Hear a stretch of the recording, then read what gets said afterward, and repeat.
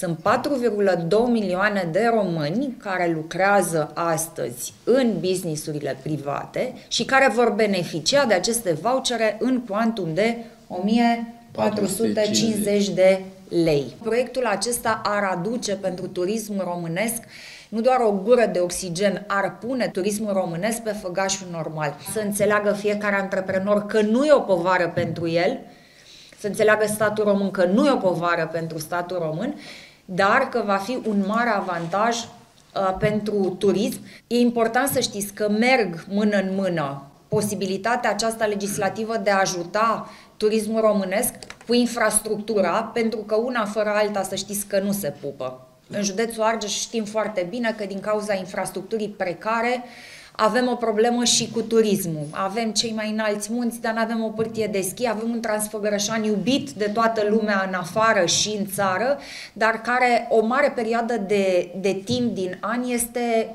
impracticabil acel drum, e închis.